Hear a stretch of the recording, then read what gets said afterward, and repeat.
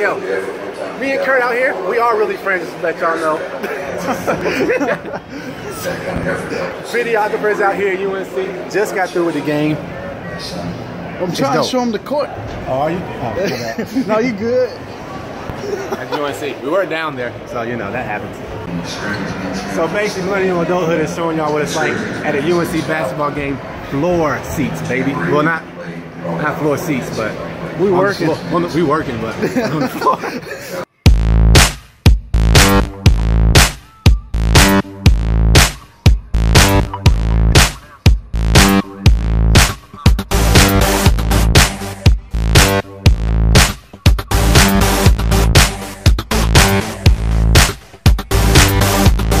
Me and Curtis have been huge UNC fans for years, and to have the opportunity to actually work at UNC Film and Sports is surreal.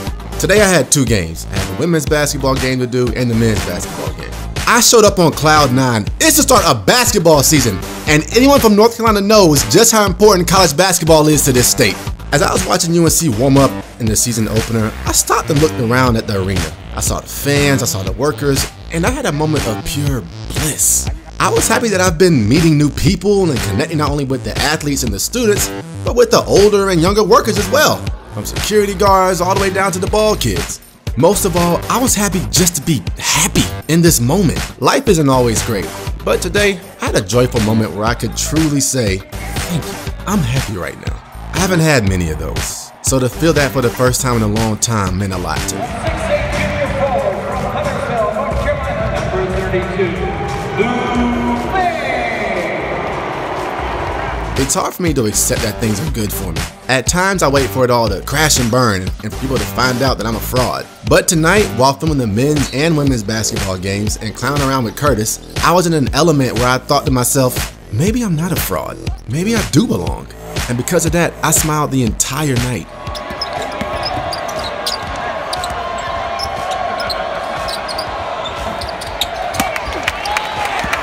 Adulting is about taking a step back and being grateful for where you're at. You can't let life pass you by because you can't enjoy where you're at in the journey.